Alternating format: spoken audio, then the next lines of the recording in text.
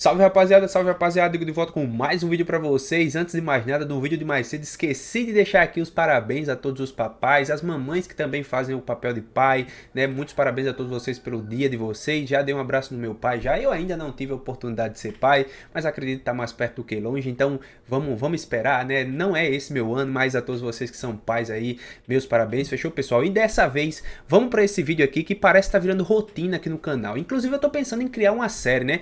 É, a série vai ser a seguinte, a Men's Physique apronta mais uma vez. Dessa vez, rapaziada, sabem quem é esse aqui? Pois é, é o Daniel Amos, esse doidão aqui, o que venceu o Andrew Ferguson lá no Texas Pro.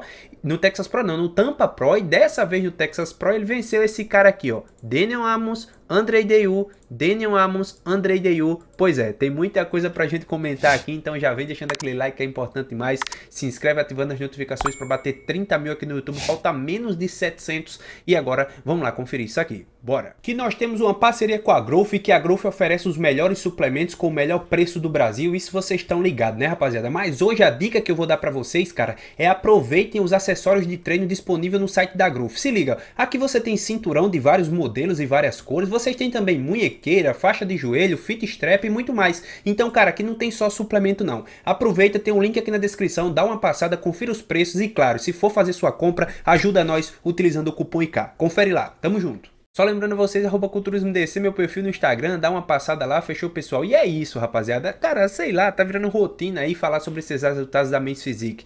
Primeiro, esclarecer a todos vocês. Pessoal, eu não sei o que pede a Men's Physique. Eu só sei que ela preza por um V-shape, né? Um V-shape. E aí, de resto, cara, eu, eu, eu, realmente não sei, porque eu já vi tanto resultado diferente que eu realmente não consigo chegar a uma conclusão do que é a Men's Physique, tá? Se você tem uma resposta para o que a Men's Physique pede de verdade, se é que existe, já deixa no comentário aí, me ajuda, velho, de verdade. Então vamos lá. Ontem nós tivemos aí o Texas Pro, show que teve todas as categorias, se não me engano, e mais cedo eu postei um vídeo sobre o Andrew Jack, amassando geral lá.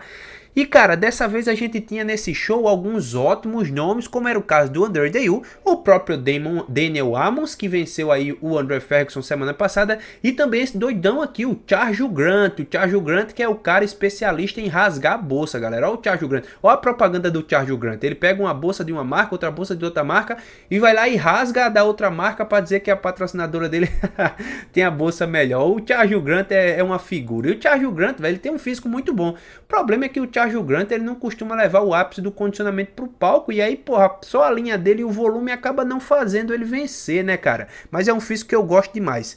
E caras, quem venceu foi o Daniel Amons. Cadê ele? Olha ele aqui, ó. olha ele, velho. Olha ele. Dessa vez venceu o Andrei Deyu, que já esteve no top 6 do Mr. Olympia, cara. E foi surpreendente sabe por quê? Porque todo mundo esperava o melhor show do Andrei Deyu da vida. E, velho, o Andrei Deyu tava bem, cara. Olha essas fotos aqui, ó. O físico bonito, físico volumoso, né? Uma linha boa, né? Agradável, muita fibra no peito. É certo que o abdômen dele aqui não tá tão marcado, não tem a parede abdominal tão bonita. Mas ele tem uma dorsal impressionante, cara. Olha isso, ó. Trapézio marcado, muita espessura, uma boa largura. Detalhes aqui, ó. Uh, na região dos músculos escapulares. Enfim, o Andrei Deyu, ele tem um físico muito bom, cara. Eu, sinceramente, sinceramente, vejo pequenos detalhes ali no físico do André Deyu. E, sinceramente, entre todos que eu vi no line-up do Texas Pro, eu imaginei que ele fosse ser o campeão. Apesar do Daniel Amos ter vencido o Andrew Ferguson na semana passada, eu não imaginava, mas nem imaginava de forma nenhuma que o André Deyu fosse perder para esse cara. E aí a gente vai dar uma olhada aqui primeiro no físico deles dois, né? Esse aqui é o Daniel Amos, tá, pessoal? O físico, ó, é aquilo que eu comentei semana passada, cara. É um físico bom, um físico bem legal, mas Ainda, na minha opinião, não é um físico que você olha assim e você faz, nossa caramba, esse físico é loucura e tal. Porém, tem um detalhe aqui para falar para vocês. Tem coisas, pessoal, que a gente só vê assistindo o show pessoalmente, tá? Então é por isso que eu sempre fico com o pé atrás quando vou comentar. Mas, novamente, cara, minha opinião sobre o físico do Daniel Amos aqui é a mesma. É, ele tem aí um oblíquo bem marcado, a parede abdominal boa, não me parece ter um baita volume de peitoral, nem de braço, nem de ombro, nem nada. É, ele para mim é um mês físico conservador, cara. Para mim ele é um mês físico conservador. Aquele mês físico que não é extremamente impressionante, não é da classe aí do super mês physique. E é isso pro físico dele. Já o Andrei Deyu, o Andrei Deyu eu acho que já é um cara aí, né, mais pra classe dos Superman's Physique, né, já tem um braço e um ombro ali um pouco maior, pelo menos é o que me parece, né, tem um peito ali que não é o maior peitoral do mundo, mas é um peito ok, é, e de costa sim, de costa eu acho que o Andrei Deyu já tem aqui uma certa vantagem com relação aqui a o Daniel Amos, apesar que parece, né, que o Daniel é um pouco mais largo do que o Andrei Deyu, olha aqui, mas assim, tem diferença de, de, de altura também, também, né? E para matar todas essas dúvidas, pessoal, vamos fazer o seguinte, vamos olhar os confrontos, tá aqui, ó, deixa eu dar um zoom aqui, mais um zoom aqui para vocês, mais um zoom, tá bom, aqui tá bom. Tá, vamos esquecer esse mano aqui que meu webcam tá na frente dele, vamos focar nesses dois caras aqui, tá? O Charles Grant também é um cara que tá decepcionando, então vamos, vamos focar nesses dois aqui. Pose de frente, o que é que a gente vê? Aqui eu vejo dois caras lateralizados, o Daniel Amos aqui com bastante lateralização para valorizar o oblíquo, parede abdominal bonita. Uh, o Andrei Deyu me parece estar tá um pouco menos condicionado aí na parte da frente com relação aqui ao Daniel Amos. Mas cara, eu se eu fosse votar na pose de frente, eu ainda preferia aqui a pose do Andrei Deyu, tá pessoal? É um físico que, que me agrada um pouco mais. E novamente, eu não sei o que a Men's Physique quer, cara. Eu, aqui eu vou opinar pelo que eu vejo aqui. Eu acho que o, o Andrei tem um pouco pouco mais volume de braço, o peito ali tá even, né? Apesar do oblíquo e a parede abdominal do Daniel Amos tá parecendo ah, um pouco mais condicionado, mesmo assim o, a, o aspecto do físico do André me agrada mais, por isso que eu preferiria ele aí nessa pose de frente, tá?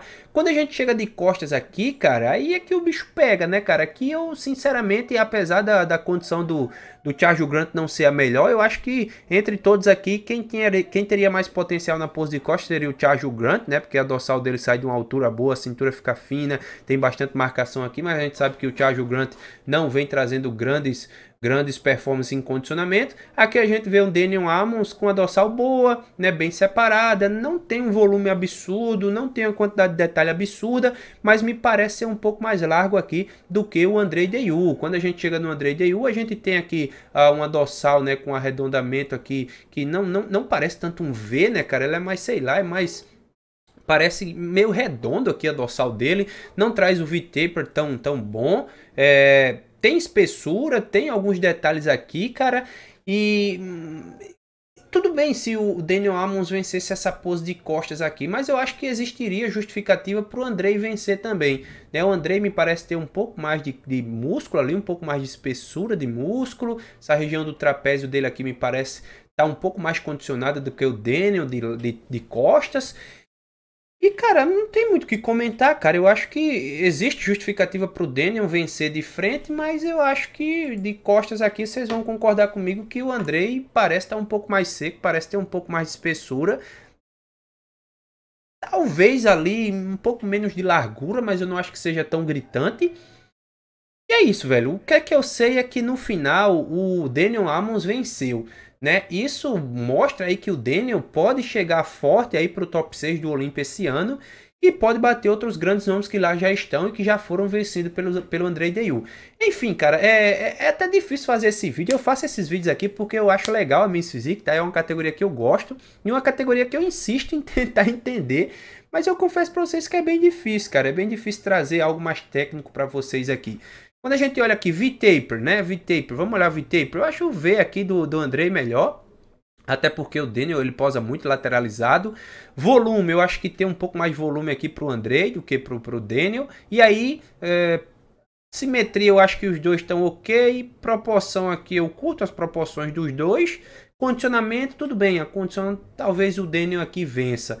Né? De costas aqui, o V-Taper do, do Daniel aqui é melhor. A condição eu acho que me parece, cara, mais denso aqui, mais condicionado aqui o Andrei. Aqui eu acho que o Daniel faltou um pouco de, de, de brilho aqui nas costas dele, talvez. Volume eu acho que o Andrei ainda tem um pouco mais. É simétrico também.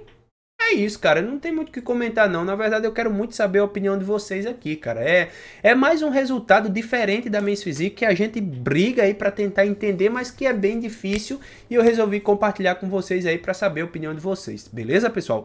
Qual que físico que vocês preferem? Do Daniel Amos ou do Andrei Deyu, cara? E será que, o, que esse maluco aqui vai surpreender no top 6 do Olimpo esse ano? Pô, comenta aí, pessoal. Esse é mais um dos vídeos da categoria Men's Physique. É pronta mais uma. Um grande abraço e até o próximo vídeo. Tamo junto, é só o começo.